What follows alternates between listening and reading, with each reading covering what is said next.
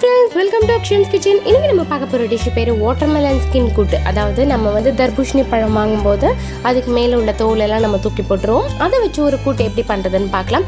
அதுக்கு முன்னாடி இது வரைக்கும் அக்ஷன்ஸ் கிச்சன் சேனலை சப்ஸ்கிரைப் பண்ணாதவங்க கண்டிப்பாக சப்ஸ்கிரைப் பண்ணிடுங்க. பக்கத்தில் இருக்கிற பெல் மறக்காமல் கிளிக் பண்ணிடுங்க. அப்போ தான் நான் பண்ணுற எல்லா வீடியோஸும் உங்களுக்கு ரெகுலராக வரும்.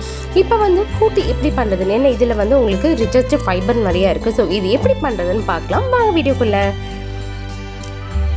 இதில் வந்து நம்ம தே அரைக்கிறதுக்கு தேங்காய் தேங்காய் வந்து நான் வந்து ஒரு பெரிய கீத்தலாக ஒரு ரெண்டு கீத்தல் தான் எடுத்திருக்கேன். கொஞ்சோண்டு ஒரு அரை டீஸ்பூன் அளவுக்கு கடுகு கொஞ்சம் போட்டுக்கோங்க.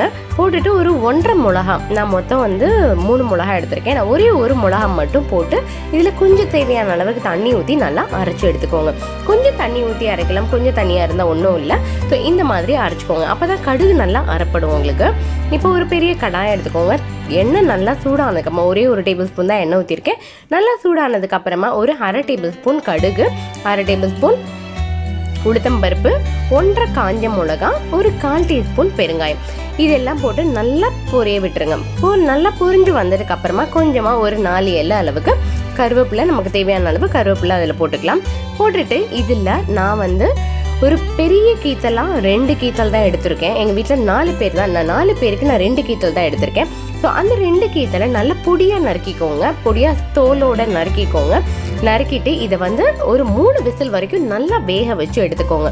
அந்த மூணு விசில் வேக வச்சு எடுத்ததுக்கப்புறமா அதை இதில் ஊற்றிட்டு இதில் ஒரு கால் டீஸ்பூன் மஞ்சள் பொடி அப்புறம் உப்பு தேவையான அளவுக்கு. நான் வேக வைக்கும் போது உப்பு போடலை ஸோ அதனால் இப்போ தான் உப்பு போடுறேன். இதை நீங்கள் நல்லா கொதிக்க விட்டுருங்க. இதுக்கு தேவைப்பட்டதுன்னா நீங்கள் இன்னும் கொஞ்சம் தண்ணி கொஞ்சம் வேகாமல் இருந்தது நீங்கள் ஃபீல் பண்ணிங்கன்னா கொஞ்சம் தண்ணி ஊற்றி இந்த ஸ்டேஜில் நீங்கள் வேக வைக்கலாம். இப்போ இது எனக்கு நல்லாவே குழத்தலை வெந்துருச்சு அதனால நான் தண்ணியெலாம் ஆட் பண்ணலை. இது போகிறளவுக்கு நல்லா கொதிஞ்சதுக்கு அப்புறமா அதாவது மஞ்சப்பொடி வாசனை போனதுக்கு அப்புறமா நம்ம அரைச்சி வச்சுருக்கோம் இல்லையா விழுது தேங்காய் கடுகு காஞ்ச மிளகாய் இது மூணையும் போட்டு அரைச்சி வச்சிருக்கோம் இல்லையா? அந்த விழுதை தூக்கி இதில் ஊற்றிடலாம் ஸோ இப்போ அந்த விழுதை ஊற்றும் போது உங்களுக்கு என்ன ஆகும்னா கொஞ்சம் தண்ணி ஆயிக்கும். அந்த கூட்டு வந்து ரொம்ப தண்ணியாக தெரியும் உங்களுக்கு. ஸோ இப்போ கூட்டு வந்து நல்லா கொதிக்க விட்டுருங்க. கொதிக்க விடும்போது இது வந்து சுண்ட சுண்ட கொதிக்கும் போது கொஞ்சம் லேசாக இதுவாகிடும் திக்காயிடும். ஸோ இது கொதிக்கிறதுக்கு ஒரு அஞ்சு நிமிஷம் கொதிச்சாலே போதும். ஏன்னா ஆல்ரெடி நம்ம வேக வச்சு எடுத்தது தான் இது வந்து நீங்கள் மூணு விசில் கண்டிப்பாக விட்டுருங்க. ஏன்னா இது வந்து ஹார்டாக இருக்கும் உங்களுக்கு. மேலே உள்ள ஸ்கின் ஹார்டாக இருக்கும். ஸோ மூணு விசில் விட்டால் தான் உங்களுக்கு நல்ல குழத்தெல்லாம் வரும். இப்போது நல்லா திக்கானதுக்கப்புறமா அடுப்பு ஆஃப் பண்ணிட்டு கொஞ்சமாக கொத்தமல்லி இலையை தூவிட்டு நீங்கள் கரெக்டாக சர்வ் பண்ணிடலாம். இது நீங்கள் ரொம்ப ரொம்ப ரொம்ப சுலபம். ரொம்ப ரொம்ப ஈஸியும் கூட உங்களுக்கு பண்ணுறது ரொம்ப ஈஸி அதே மாதிரி ரொம்ப ரிச்சஸ்ட் ப்ரோட்டீன் இருக்குதுல்ல.